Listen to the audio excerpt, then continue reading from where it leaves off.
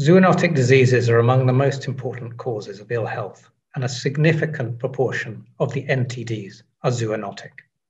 These, place burdens on human health, perpetuating poverty, inequality, and preventing and constraining the attainment of the Sustainable Development Goals. Addressing zoonotic diseases requires interdisciplinary work at every level, as one United Nations and for One Health. FAO is committed to working with WHO to better the attainment of the goals of the NTD roadmap.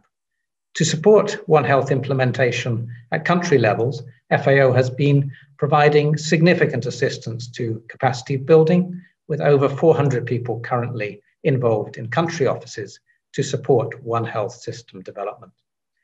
A long-standing successful example of WHO and FAO collaboration on NTDs is the program against African trypanosomiasis, which for, for the past 24 years has provided the umbrella for interagency collaboration on the control and elimination of African trypanosomiasis.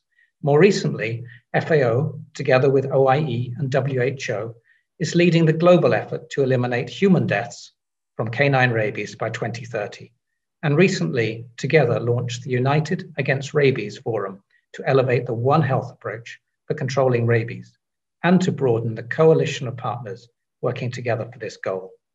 It is vital that the benefits of this work together are felt in the lives of those most at risk from neglected tropical diseases Policy commitment at country level to One Health is essential.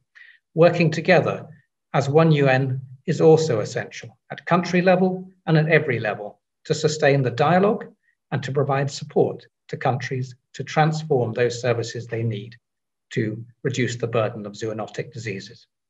The launch of this roadmap is an important step in our journey together. One step, but let us make it a major step together for One Health and together help better the lives and livelihoods of future generations.